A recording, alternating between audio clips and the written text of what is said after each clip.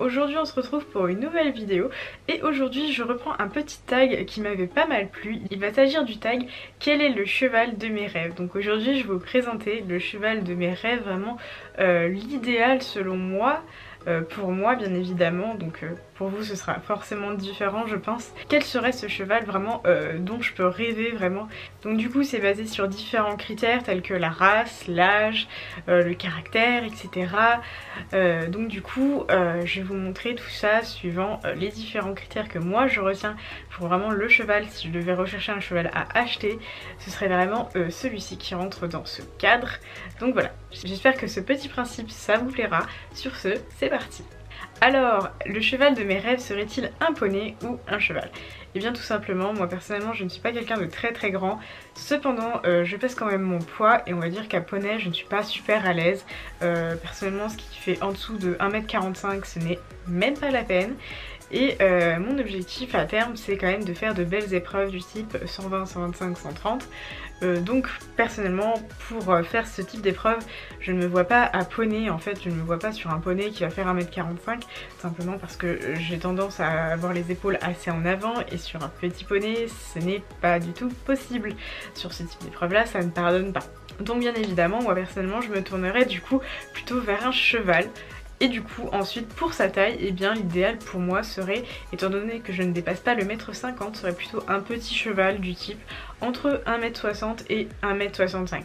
Ce serait vraiment idéal pour courir ce genre d'épreuve et pour moi c'est beaucoup plus pratique à monter. Euh, je ne suis pas du tout à l'aise sur les grands chevaux, enfin j'en ai monté plusieurs qui étaient grands mais euh, le dernier que j'ai monté je me suis rendu compte vraiment que ce n'était pas pratique, il fallait euh, un escabeau pour le sceller, enfin bref je ne vous fais pas un dessin, c'était vraiment pas pratique du tout. J'étais pas forcément très à l'aise dessus parce qu'il avait beaucoup de rebonds, il m'envoyait beaucoup en avant. Enfin bref, j'étais pas bien dessus, je trouvais pas ma place, etc. Donc du coup moi personnellement pour sauter en tout cas euh, il me faut un cheval entre 1m60 et 1m65 maximum. Ensuite, au niveau du sexe, alors je sais que beaucoup de personnes ont des préjugés sur les juments. Euh, moi, sachez que j'ai connu pas mal de juments qui étaient absolument euh, normales, qui n'avaient pas plus de caractère, etc. Enfin, pour moi, je ne dis pas que c'est un mythe, tout simplement, je dis qu'il faut euh, savoir juste choisir son cheval. Moi, je sais que Sapristi, elle n'est pas du tout pisseuse. je ne sais même pas si elle est au courant qu'elle peut mettre un coup de cul quand on est sur elle. Je pense qu'elle le sait pas. Elle est vraiment adorable même en période de chaleur, elle ne dit rien, on ne se rend même pas compte en fait à cheval tout simplement parce qu'elle ne l'exprime pas, euh, elle est très très bien dans sa tête, elle est pas du tout pisseuse. Alors certes elle est toujours un petit peu désagréable avec les autres chevaux, mais moi c'est un caractère qui me convient très bien parce qu'avec l'homme elle est adorable, elle est vraiment euh, la plus gentille du monde, euh, on peut lui faire des câlins, on peut la gratter, elle vient nous faire des bisous, elle nous appelle etc. Donc vraiment je me tournerai plutôt vers une jument parce que j'ai toujours plus d'affinité euh, avec les juments d'historique plutôt qu'avec les hongres. Je n'ai jamais manipulé d'anti à proprement parler sur une longue durée donc je ne pourrais pas juger mais je pense qu'en tout cas si je devais me tourner vers un cheval et eh bien ce serait plutôt une jument plutôt qu'un hongre ou à la rigueur un entier mais bien évidemment ce n'est pas possible étant donné que mes chevaux vivent en groupe auprès avec une jument un entier c'est pas possible. Du coup voilà pour le sexe ce serait plutôt une petite jument encore une fois. Ensuite, parlons de l'âge. Alors, je ne sais pas vous, mais moi je suis plutôt jeune cheval que cheval d'école. Tout simplement parce que je trouve qu'avec les jeunes chevaux, il est plus simple de former un vrai travail, euh, une vraie relation, de vrais boutons, etc. Comme je l'ai fait avec Sapristi. Sapristi n'avait aucun bouton puisqu'elle n'était pas débourrée quand je l'ai eu. Et vraiment, j'ai vraiment apprécié le fait de l'emmener de rien à 115 cm c'était juste ouf. J'ai trouvé ce parcours juste euh, oufissime et c'est pour ça que je me retourne vers un poulain pour euh, tenter la même expérience donc avec mon futur poulain qui va bientôt arriver.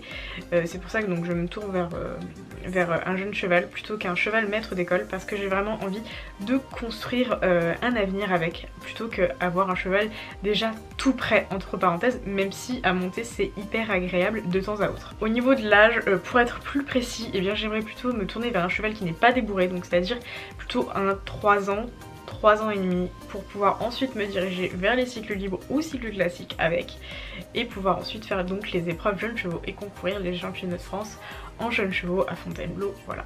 Et comme vous pouvez le voir exactement ce que je vais faire moi avec euh, le poulain de Sapristi plus tard euh, quand, il en, quand il en sera en âge. Donc voilà, c'est pour ça que je me tournerai plutôt vers un jeune cheval plutôt qu'un maître d'école. Ensuite, parlons physique. Alors, comment elle serait cette petite jument? Eh bien moi j'ai vraiment un gros kiff sur les chevaux à la robe foncée, mais du type Silbron. Donc c'est une espèce de baie brun très très foncé qu'on peut appeler également noir pangaré. Donc c'est pas vraiment baie et c'est pas vraiment noir non plus. C'est vraiment euh, Silbron, c'est comme ça que ça s'appelle. Donc euh, si vous voulez savoir la robe ce que c'est exactement, c'est la même que classique. Donc voilà, du Silbron, c'est comme classique. Voilà, rien de très extravagant bien évidemment. Euh, je pense que vous vous en doutiez que c'était un peu ce que je voulais. Et ensuite, euh, sinon, si pas de Silbron, et bah plutôt un cheval noir, donc un peu comme le fils de classique euh, Dumbo Biches, donc pour ceux qui l'avaient reconnu ici en photo pour exemple. Je l'avais vu à Saint-Lô l'année dernière quand je suis allée voir Classique au salon des étalons. Donc voilà, donc je suis plutôt dans ce type de robe là. Ensuite au niveau des marquages, je suis très très blanc. J'adore les chevaux avec des listes, j'adore les chevaux avec des balsames. Donc moi l'idéal ce serait vraiment une très grande liste, un peu comme sa Presti A mais plus étalée. Pas trop non plus, je ne veux pas que ça déborde sur les yeux. Et ensuite, l'idéal serait vraiment d'avoir 4 grandes balsanes, exactement comme classique, parce que ça c'est vraiment quelque chose dont je suis fan, les balsanes c'est les chevaux, je trouve ça super joli. Ensuite, pour en finir avec le côté physique, on va dire au niveau morphologie, j'aime beaucoup les chevaux qui sont très compacts avec un dos court et une petite encolure. Euh, pour moi, avec les chevaux avec une encolure de géant, c'est pas possible, je n'aime pas du tout, je trouve ça pas pratique à travailler. Je trouve que c'est pas très souple et les chevaux qui ont un grand dos, euh, j'aime pas trop physiquement, je trouve ça pas très élégant. Euh, donc moi personnellement, vraiment un cheval bien compact, très musclé, avec une belle encolure, une belle croupe, un dos solide, ce serait vraiment l'idéal, ce dont je rêve le plus au monde et que j'essaye de faire avec sa précis. Sauf que c'est pas évident d'avoir un beau dos et une belle croupe et de beaux abdos, mais voilà.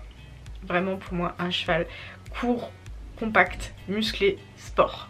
Au niveau du caractère, alors moi j'aime beaucoup les chevaux qui sont un petit peu sanguins. Je m'ennuie assez vite avec un cheval qui est un peu mou, qu'il faut pousser. Euh, pour en avoir monté un en début d'année, c'est vraiment pas agréable quand on doit biller dedans, euh, quand on doit vraiment travailler euh, sur faire une transition tous les 10 mètres pour dynamiser le cheval. Je trouve ça vraiment fatigant moi pour ça. Le cheval doit vraiment répondre aux aides, un petit cheval avec du sang, vraiment un peu comme ça Pristi. On met les jambes, ça part, on se redresse, ça, ça arrête vraiment un cheval aux ordres. Et surtout qui réagit à la jambe et pas qui reste froid, qui reste imperméable aux aides. Ça c'est vraiment pas possible pour moi et vraiment un cheval on met la jambe, ça part, on met la jambe pour faire une session, ça se décale, etc. On veut faire un appuyé, ça se décale aussi. Donc ça, tout ça, je sais que ça se travaille, mais le souci c'est qu'il y a des chevaux qui sont quand même plus ou moins réactifs, on ne peut pas le nier. Euh, une sapristi par exemple, on met la jambe, ça va partir direct. Euh, un Darko, on met la jambe, ça va partir direct. Après voilà, apparemment à d'autres chevaux par exemple, j'ai travaillé Velvet un petit peu sur le plat une fois avec mon coach, euh, on met la jambe, ça ne part pas tout de suite. Il faut monter vraiment avec énormément de jambes et moi personnellement ça me fatigue beaucoup. Je suis pas très fan de ça, euh, notamment à l'obstacle. Moi quand on va sur un obstacle, le cheval doit vraiment emmener le cavalier vers la barre sinon on n'est pas arrivé aux 12 obstacles du parcours, c'est pas possible pour moi. Donc voilà, plutôt un cheval avec du sang, mais toujours avec du respect. On peut avoir un excès de joie, un petit coup de cul, un petit coup de dos de temps en temps. Mais voilà, il faut pas non plus que ça devienne un cheval qui embarque euh, à tout bout de champ, du style, euh, il y a une bâche qui bouge un petit peu, là, ça y est, le cheval part à fond euh, les gamelles dans la carrière, ça c'est pas non plus mon kiff. Un cheval avec un peu de sang, ce qu'il faut de sang évidemment, avec de la force, un vrai mental, mais sans tomber dans un cheval avec du vice qui va embarquer, qui va essayer de jeter son cavalier par terre. Ça, ça ne m'amuse vraiment, vraiment pas du tout. Et enfin, pour finir, on va parler des disciplines. Alors, euh, moi je ne suis pas quelqu'un qui me définit comme très polyvalente, tout simplement parce que euh, j'ai vite fait le tour des disciplines que je pratique. Personnellement, à la maison, euh, ce qu'on fait, c'est qu'on travaille à pied, que ce soit en longe ou en main ou en liberté, en pseudo-liberté, on va dire. On travaille sur le plat, sur le dressage, on travaille également à l'obstacle, que ce soit de l'obstacle pur, de la mécanisation ou du hunter. Et également on sort en extérieur, que ce soit en main ou à cheval. Mais voilà, on a très vite fait le tour. Vous voyez, je ne fais pas d'attelage, je ne fais pas de western, je ne fais pas de horseball. C'est assez limité, on va dire. Euh, je ne m'étends pas sur un grand cadre de discipline. Donc personnellement, euh, un petit cheval qui fait du dressage, euh, à bas niveau évidemment. Mon objectif c'est pas d'aller dérouler la Saint-Georges non plus demain. Hein un cheval qui puisse sortir en extérieur, ça c'est hyper important vraiment pour moi. Un cheval qui saute, évidemment, puisque l'objectif à terme ce serait de sortir euh, en international et d'aller faire un petit peu de 125 130. Et enfin un cheval euh, tout simplement qui puisse travailler à pied sans se désintéresser au bout de 5 minutes comme Sapristi peut le faire. Voilà, Sapristi n'aime pas du tout travailler à pied, ça l'éclate pas du tout, enfin en tout cas au niveau euh, travail à pied pur du style éthologie. Euh, pour la longe ça l'éclate mais alors vraiment pour le travail à pied pur elle en a rien à faire, c'est affreux. Et ça je trouve ça un petit peu dommage parce que vraiment j'essaye de lui donner envie mais il a rien à y faire, elle n'aime pas ça. Donc voilà, euh, les disciplines que j'aimerais pratiquer avec le cheval de mes rêves, ce serait principalement le saut d'obstacle, le hunter au niveau 130-125 pour les deux, le dressage euh, à petit niveau, euh, donc session appuyée, travail latéral, épaule en dedans, etc. Donc vraiment à un niveau bas, amateur 2 je dirais. Et enfin, sortir en balade sans se prendre la tête, vraiment avoir un cheval qui est un peu guerrier dehors et euh, évidemment va pouvoir travailler enfin un petit peu à pied, que ce soit en longe ou à pied. Voilà du coup c'est la fin de cette vidéo, j'espère que ce petit tag vous aura plu, si c'est le cas bah, n'hésitez pas à me le dire en commentaire. Et également n'oubliez pas de me dire en commentaire c'est quoi le cheval de vos rêves à vous parce que ça m'intéresse et je voudrais savoir tout ça. Donc voilà n'hésitez pas, moi je vous dis à bientôt, ciao